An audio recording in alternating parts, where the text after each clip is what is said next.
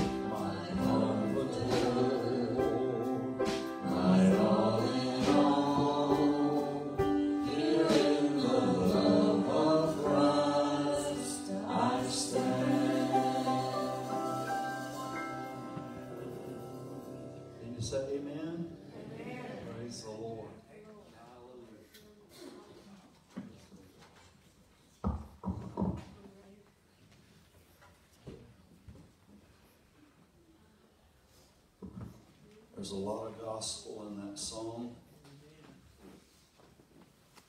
I can't sing it and play it, but I love it. I like the truth that's in it. Praise the Lord.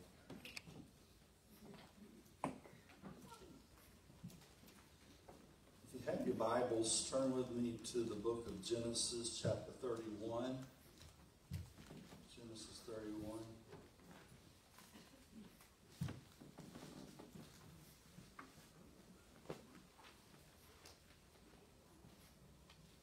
I've entitled this message, Handling Conflict. Anybody ever, don't raise your hand, anybody ever ever had conflict? as long as there are people on the face of the earth. You might do a better job than I am today. You don't take it.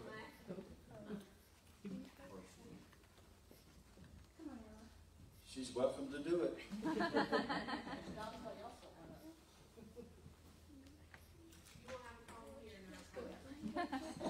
You won't need a microphone. huh? Praise the Lord. But as long as there's people, as long as there's people, there's going to be conflict. I don't care if it's in your house, if it's in your neighborhood, if it's on your job, and I don't care if it's even in the church.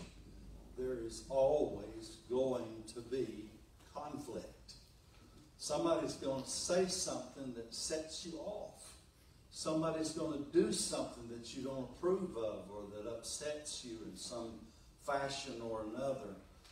And today I hope to show you through the Word of God what we're supposed to do. I'm not always successful with this because I'm living in this fleshly body. And sometimes this fleshly body overrides my, my spiritual man. And uh, almost every day in one of these environments, whether it's the home or, or wherever, all across America, in every church across America, in every church around the world, every pastor that I've talked to in every foreign country has had to deal with this subject of conflict. I don't like conflict. I don't like it at all. I'd rather crawl over glass than to have somebody upset with me. I don't I don't like it. Sometimes I can flare up and sometimes others can flare up at me. It just happens. The problem in our text today in Genesis 31 is Jacob is a deceiver. And his uncle, Laban, is also a deceiver. And two deceivers in the same room have conflict. Because when you're used to getting your way through deceit, and then you meet up with somebody that's just as deceitful as you are, there is going to be conflict. Be careful what you sow because you will eventually reap it in conflict.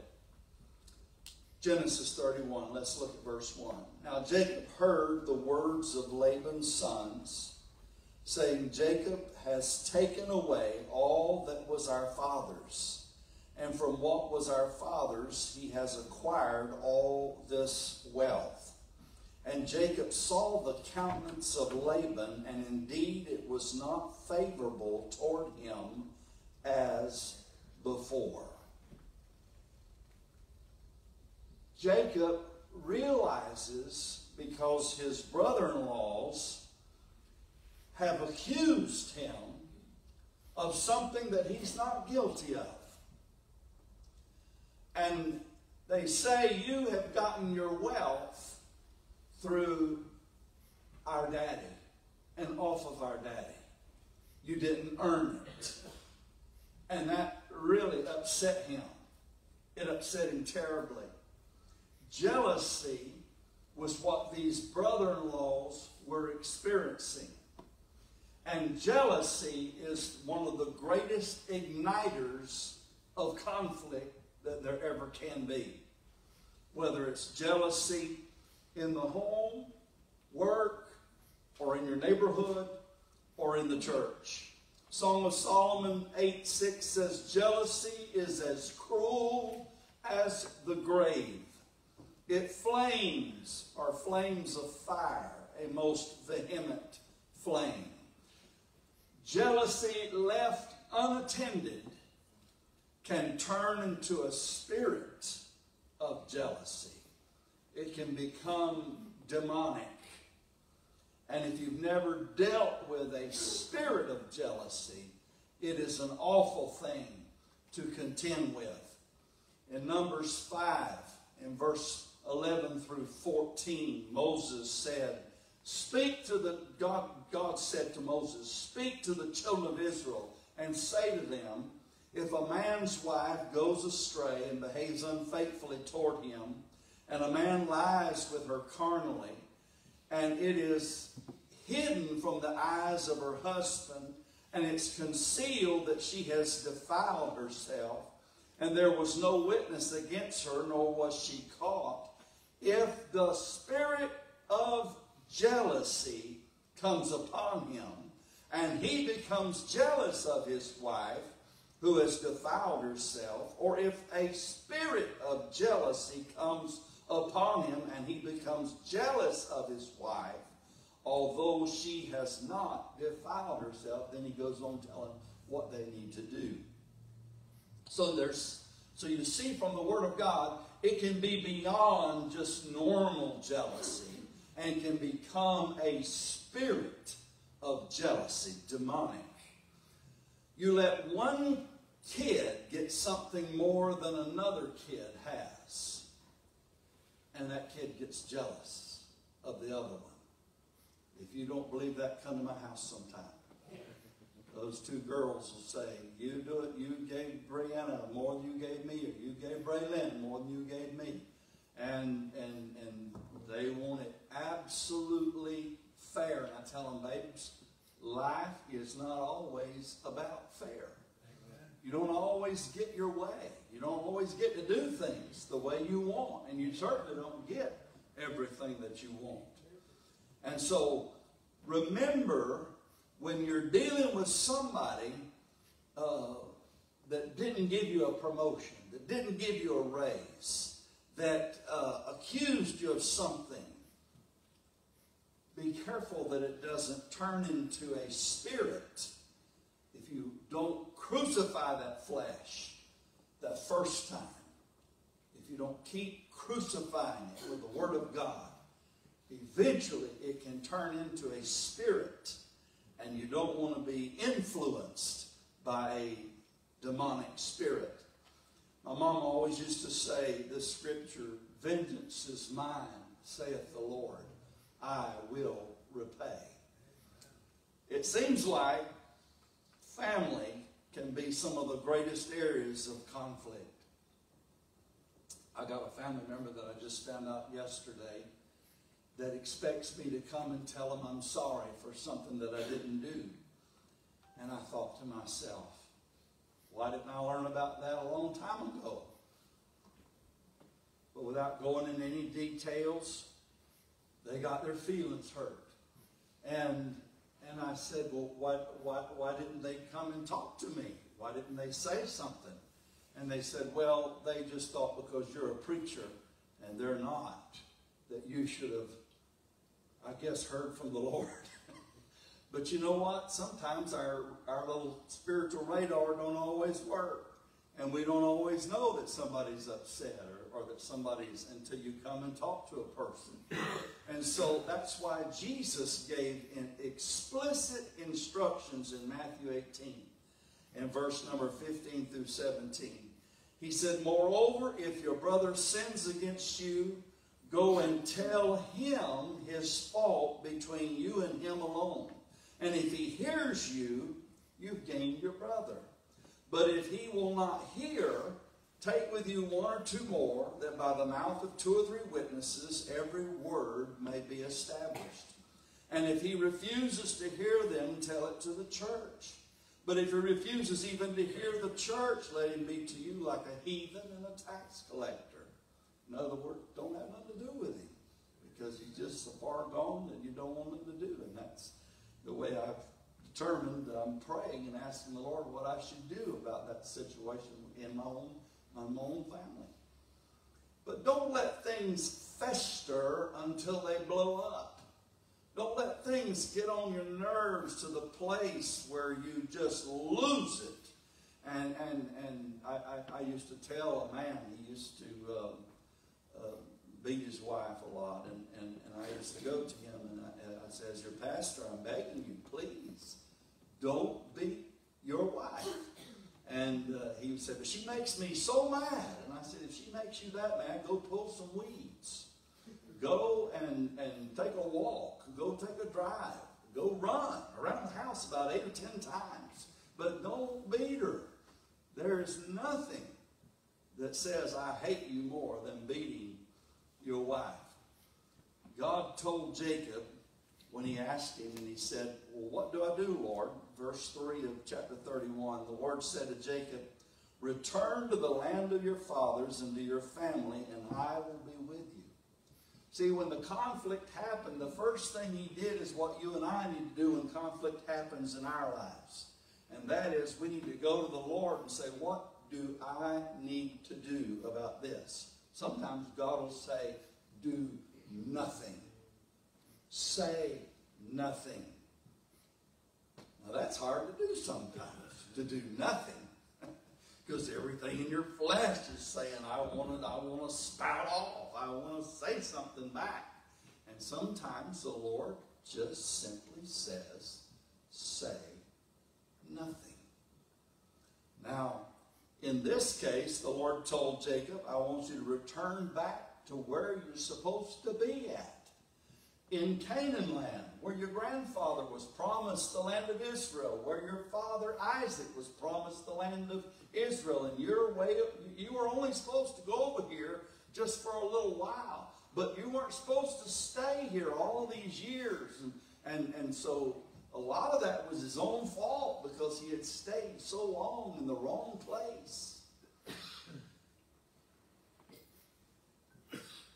God told Jacob, get out of there. Now, verse 4. So Jacob sent and called Rachel and Leah to the field, to his flock, and said to them, I see your father's countenance that is not favorable toward me as before, but the God of my father has been with me and you know that with all my might I have served your father.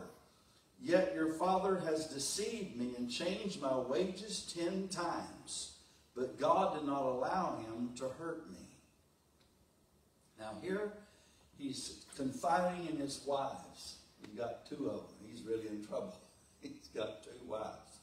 And he says to both of those women, he says, Rachel, Leah, um, I've prayed about this, and, and I got to go back to the land of Israel. I got to go back to the land of my fathers. Your daddy has changed my wages ten times, and, and that's not the way God intended it to be. And, and uh, you know your dad's done me wrong, and, and uh, you know. And so he tells his two wives. And, and so then it says, uh, verse 13 I am the God of Bethel, where you anointed the pillar and where you made a vow to me. Now arise, get out of this land, and return to the land of your family. God reminded him verse 20 of chapter 28 where he had said, Jacob made a vow saying, If God will be with me and keep me in this way that I'm going and give me bread to eat and clothing to put on, so that I come back to my father's house in peace, then the Lord shall be my God. And the stone which I have set as a pillar shall be God's house, and all that you give me, I will surely give a tenth to you. So he, he, he, he was reminded that he had made a vow to go back home, and he didn't keep the vow. And so that's why conflict happened, because he stayed too long. But then, as I said, he brought his wives into the conflict. So now they're mad at daddy. They're mad at their daddy because now they've got to leave their home, everything that they know, and they've got to go to a place they've never been before, into the land of Canaan. And uh, be careful when you bring people into your conflict because you're going to bring more attitudes and more judgments and more personalities, and next thing you know, you're going to have a big old fight on your hands. Rachel and Leah were upset that their father had not given them their portion of their inheritance, and they knew if they took off with their husband, they were never going to get their inheritance. And so they were all upset about this. And so the one thing that Jacob was correct about being upset about, now he's got more issues added to that. Have you ever noticed that sometimes when you let something go, that it seems like more and more and more gets added to it? You ever get in an argument with your husband or your wife, and, and, and all of a sudden you're arguing about the, the, the, the uh, crock pot, and, and next thing you know, well, when we first got together, there, there was, you, you said so and so to me, you know, and then, and then that conflict gets brought back all the way to years earlier. So be careful bringing people into your conflict. So it says in verse 17, then Jacob, of chapter 31, then Jacob rose and set his sons and his wives on camels, and he carried away all his livestock and all his possessions which he had gained, his acquired livestock which he had gained in Padan Aram, to go to his father Isaac in the land of Canaan. He listened to the Lord, and now things are going to start working out for him. You'll see as we read in the day and the weeks to come, as we go on from this chapter, we'll see how God is really blessing his life. And God is pouring out his spirit on him because he's listening instead of staying there in the midst of conflict. If I had to work in a place where there was fussing and fighting all the time, I'd find me a new job. If I had to stay in a neighborhood where they was fussing and fighting over over the fence or over the tree or over my dog or whatever, I'd have to probably move. I just don't want conflict going on and on and on. And today I want to ask you as I close this message out, is there any conflict in your life? Is there some argument that's going on between you and husband or wife? Is there argument going on between you and a neighbor? Is there argument between you and a family member? Is there argument going on because of you and, and maybe somebody on the job? Well, it's time to bring it to the Lord. We used to sing, Take your burdens to the Lord and leave it there. Leave it there, leave it there. Take your burdens to the Lord and leave it there. If you'll trust and never doubt, God will surely bring you out. Take your burdens to the Lord and leave it there. I had a lady that lied on me one time. And how many you like to have somebody lie on you? I don't. And she lied on me. First instinct was to go do something about it. And I prayed, and the Lord said, Do nothing. Do nothing. I said, Yes, Lord, but she's lying. And, and he said, Do nothing. And I didn't listen to him. And I confronted this little lady. And it turned into a real big old stink. And it got ugly. And I regretted it. As soon as it came out of my mouth, was like the Lord said, Didn't I tell you to be quiet? And it would be a year later when I would find out from this lady that if I had just been quiet, it would have all worked out within two or three weeks anyway. We fail to take things to the Lord and leave it there. Because if we would, oh, we wouldn't have the conflict that we wind up falling into. So will you pray with me now? Father, in the name of Jesus, if there's someone in this room that's going through conflict, maybe it's on their job or maybe it's in their home or with family members or a neighbor or a coworker, I pray in the name of Jesus that you will resolve the conflict. I pray that they'll come to you and get a word from you. For you know the beginning from the end, Lord. You know the first from the last. And you know what we should do about a situation. And God, sometimes you tell us to leave certain people alone. And sometimes you tell us to be quiet. And other times you tell us to go to them and, and, and say, I'm sorry, even when it's our fault or their fault. Father, I pray you give us wisdom that we will do exactly what you want us to do in the name of Jesus. Resolve the folks' conflict that are watching by way of internet. Resolve those in this house today that are in conflict right now. In Jesus' name. Amen. Praise the Lord. Hallelujah. I want us to